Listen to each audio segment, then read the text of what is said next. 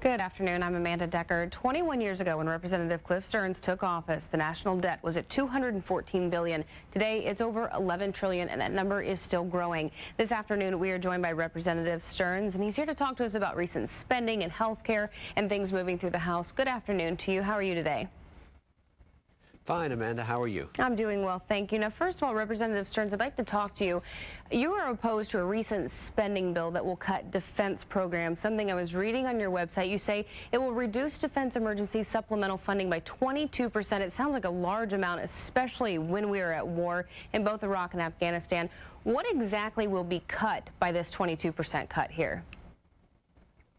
Well, a lot of the money was uh, being used for uh, programs that were not directly going to defense, and so uh, at that point, if you're not spending the money completely for defense, then you shouldn't be uh, uh, reducing the money from defense and use it for other programs.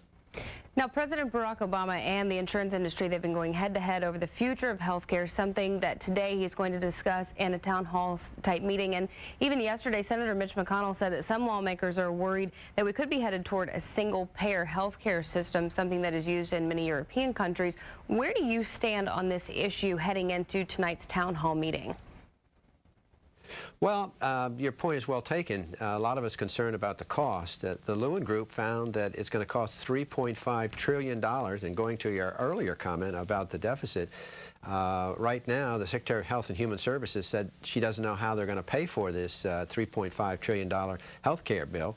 And secondly, they're not sure it's going to save, and thirdly, they're not sure it's going to have complete coverage for everybody.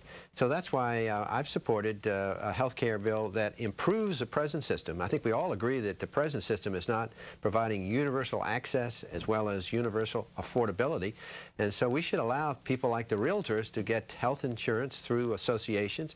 We should look at liability reform. We should make sure that people can extend health care when they move from state to state and also allow their dependents to stay on their health care uh, bill uh, longer and uh, do some of the things that I think to improve the present system instead of throwing the whole system out and putting in a government mandated run healthcare system uh, which is uh, going to be an enormous cost to us and at this point we're not sure it's going to work.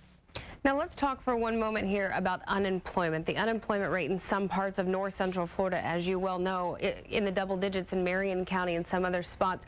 What are some proposals that you see being worked on in Washington that could in turn have a positive effect back here in north central Florida? Well, you're right, Amanda. In my hometown of Marion County, we're at 12.2 percent. Uh, obviously, the real estate market is in a very uh, severe uh, decline, and that's causing the problem. I'm having a homeowners workshop uh, throughout the congressional district in July in which homeowners can actually come in and get, uh, through mitigation, uh, their uh, loans uh, improved upon. And I'll have more and dates and specific times. We're bringing HUD, uh, we're also bringing uh, Freddie Mac and Fannie Mae down. We're also bringing local uh, banks in so that we can also uh, give uh, options to people that look like they're in foreclosure or perhaps having trouble with their mortgages. So that's one thing I'm doing, which I think is proactive.